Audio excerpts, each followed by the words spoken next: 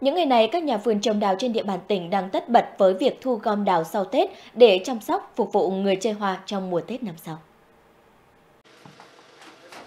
Từ mùng 8 tháng Giêng, anh Nguyễn Ngọc Quý đã tất bật đi thu gom cây đào quanh thành phố Lào Cai. Mỗi ngày, anh thu được khoảng 40 đến 50 cây và việc thu gom sẽ dừng lại sau rằm tháng Giêng để đảm bảo điều kiện tốt nhất cho cây đào phục hồi và tái sinh. Bởi vì cây đào để lâu nó ra hoa nó sẽ mất cái sức sống của nó, nó sẽ bị yếu cây và nó sẽ hay bị hỏng cây. Vậy nên là phải ờ, tốt nhất là càng đi thu gom sớm thì càng tốt. Thì nó sẽ đảm bảo cho cây để sang ờ, cuối năm nó lại phát triển bình thường như mọi năm. Gia đình chị Nguyễn Thu Hà ở xã Bản Vược, huyện Bát Sát cũng đang đi thu lại và thu nhận mới cây đào. Dự kiến năm nay chị sẽ thu khoảng 400 cây đào về chăm sóc để phục vụ khách hàng mùa Tết năm sau.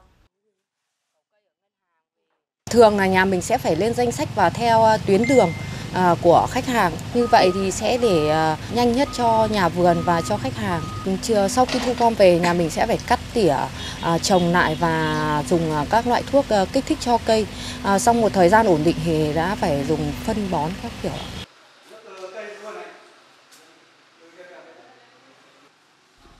Theo các nhà vườn, chi phí chăm sóc đào sau Tết có giá dao động từ 500.000 đồng đến 1 triệu đồng hoặc có thể cao hơn, tùy vào độ to nhỏ và thế cây. Hoặc các nhà vườn sẽ mua lại cây với giá trung bình từ 150.000 đồng đến 200.000 đồng một cây.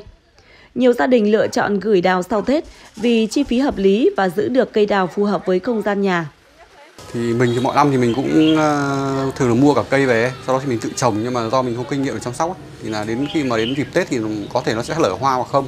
Hoặc có lở đẹp nhưng mà khi mình đánh lên thì nó lại sai kỹ thuật nó lại chết mất. Thì rất là lãng phí nên là mình lựa chọn phương, phương án là mình sẽ thuê lại cây đào và gửi nhà vườn họ chăm cho mình. Đến năm sau thì mình sẽ lại tiếp tục thuê của họ thì nó sẽ tối ưu chi phí hơn. Và nó được cái đào đẹp để chơi vừa ý mình ấy. Để cây đào được hồi sinh sau những ngày làm đẹp cho không gian xuân của mỗi gia đình, người trồng đào sẽ phải thay đất, thực hiện các quy trình chăm sóc phù hợp, đảm bảo có những cây đào đẹp nhất, rực rỡ nhất trả lại cho khách vào mùa xuân năm tới.